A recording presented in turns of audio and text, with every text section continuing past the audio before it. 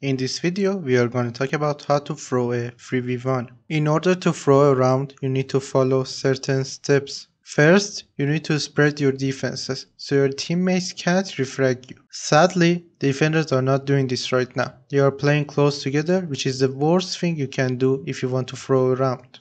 Second, you need to engage in 1v1 gunfights.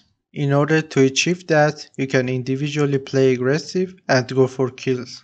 As you see here, Mute wanted to pick Ace, but unfortunately went back to cover and didn't give Ace a 1v1 gunfight. Third, the cocktail player aka Mira shouldn't play passively behind the bomb chassis. Because if she doesn't pick, she could coordinate with Melusi and they can both choose when to be the picker.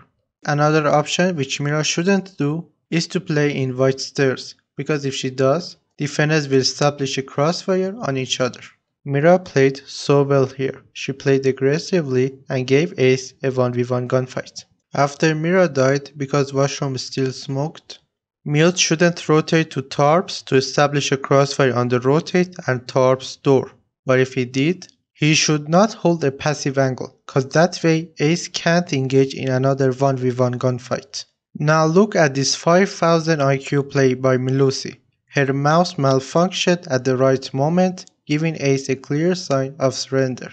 Unfortunately, Mute wasn't aware of the plan and hid until the timer reached zero.